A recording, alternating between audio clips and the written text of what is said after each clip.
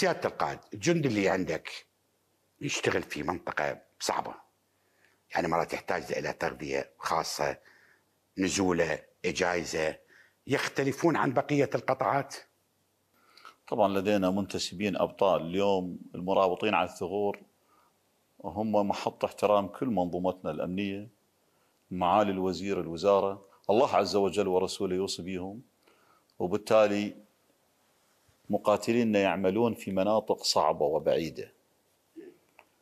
لدينا تميز لكن مو مستوى الطموح. الإجازة مثلا هسه اللي ببغداد ياخذ له سبعة أيام. مثلا هسه اللي عندك على سوريا هم ينزل إجازة سبعة أيام سيادة القائد؟ مبدئيا كل مقاتلينا إجازتهم بديل. أكو نظام البديل. هو كله بديل. آه 15 ب 15 المناطق البعيدة 15 ب 15 أي. حتى نختصر موضوع آه، تكلفة النقل والذهاب والإياب. أي. المناطق القريبة بعض الحدود قريبة كان يكون في خانقين كان يكون في البصرة. أسبوع بأسبوع أو 10 أيام في 10 أيام حسب قربة من منطقة سكناه آه، مقاتلين اجازتهم كلها بديلة.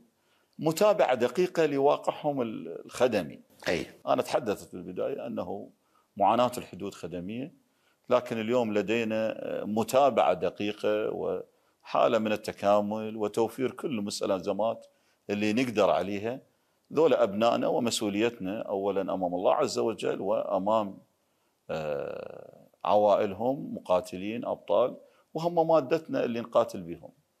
وبالتالي حريصين أن نوفر لهم كل المستلزمات.